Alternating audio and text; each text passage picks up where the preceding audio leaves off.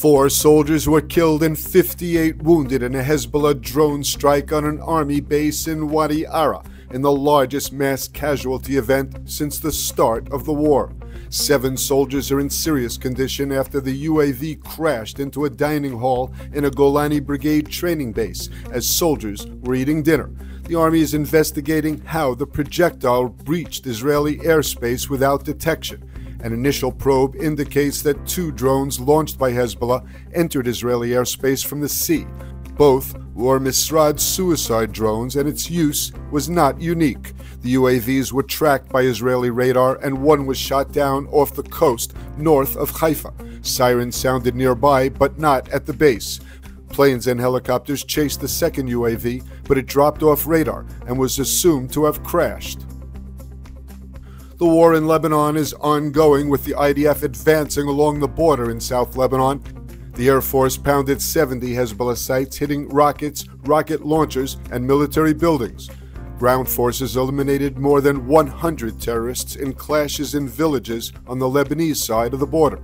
The army says that Hezbollah is attempting to use UNIFIL as a shield, firing rockets at Israel from near posts manned by UN forces.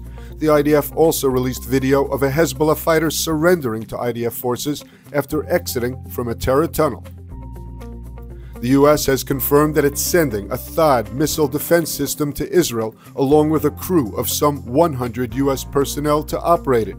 The decision came following the recent Iranian attack targeting Israel with 180 ballistic missiles. The Pentagon says the deployment will help counter potential Iranian reaction to an expected Israeli reprisal attack on Iran. Defense Secretary Austin authorized the deployment at the direction of President Biden.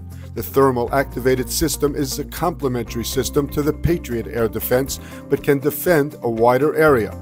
Each battery includes six truck mounted launchers and requires 95 soldiers to operate. A U.S. statement said the action underscores the ironclad U.S. commitment to the defense of Israel from any further Iranian attacks. Experience the power of truth with ILTV News. If you're looking for quality content and captivating visuals, join our news community and become an integral part of our team as we embark on a mission to unveil the real Israel, dismantling the web of lies and misinformation that surround reporting on Israel. By subscribing to ILTV News, you will not only have access to the latest updates, but you will also amplify our message, creating a ripple effect that carries the truth far and wide. Subscribe today and help reshape the narrative. Available on the web, Android, and Apple.